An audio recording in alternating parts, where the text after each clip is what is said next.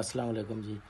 ये हम बड बना रहे हैं इसकी गन्ने की सीड के लिए, जो हम इन कप में या थैली में लगाएँगे। ये हमारे पास एक मशीन है, जिससे हम इसको, इसके वो वही ज़रूरत की चीज़ जो हमें ज़रूरत है, वो निकाल रहे हैं। और ये इसका